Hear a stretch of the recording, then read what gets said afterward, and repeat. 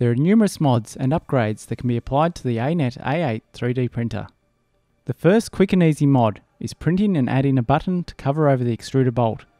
This makes it easier to press the button when adding and removing the filament. Next is to print two T-corner braces. The braces are used to remove some of the tower movement. Once printed, install on the upper left and right tower by pressing into place.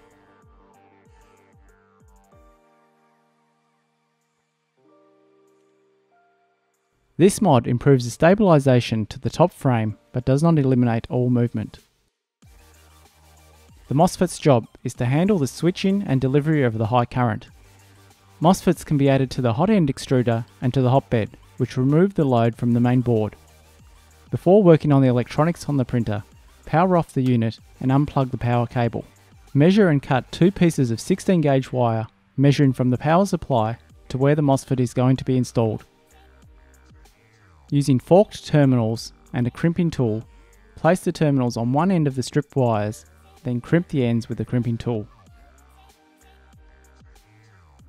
Pass the wires through the frame and to the location of where the MOSFET will be installed. Trim the ends of the wires to length if required. Then strip the ends of the wires and place on the forked terminals.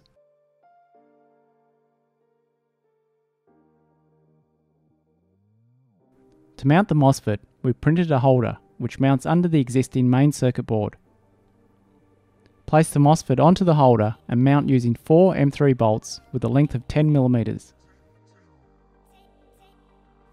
On the main board, remove the two lower screws and standoffs which are holding the board. Place the MOSFET holder with the two upper standoffs under the main board. Reinstall the two screws that were holding the main board and secure the MOSFET in place. Disconnect the two hotbed wires from the main board and install the two signal wires from the MOSFET into the location. Install the two hotbed wires removed from the main board into the MOSFET to the screw terminals labelled hotbed. Next install the two wires prepared earlier from the power supply into the MOSFET.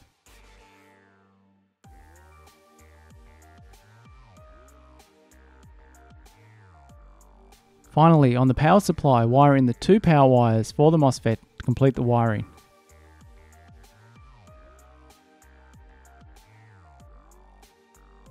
Installing the power plug allows you to have a removable power cable, a switch to power on and off the printer, and a fuse to protect in case of any faults.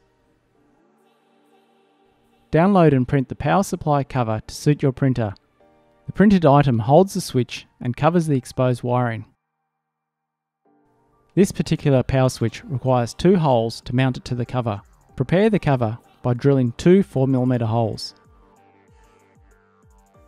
Next test fit the printed cover to the frame. One side will mount to the power supply and the other mounting point is to the printer's frame.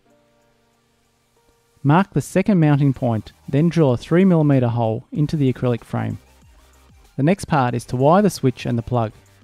We have soldered the wires directly to the terminals, but we can also use insulated crimps. Install the switch into the printed cover and mount using two M4 bolts.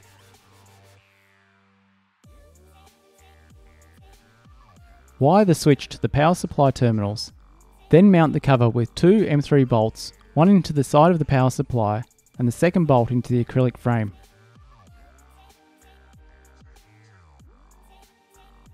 Plug in the power cable and switch on the printer. The LED in the switch will be illuminated when the printer is turned on. These are some easy upgrades to apply and improve the performance and safety of your printer.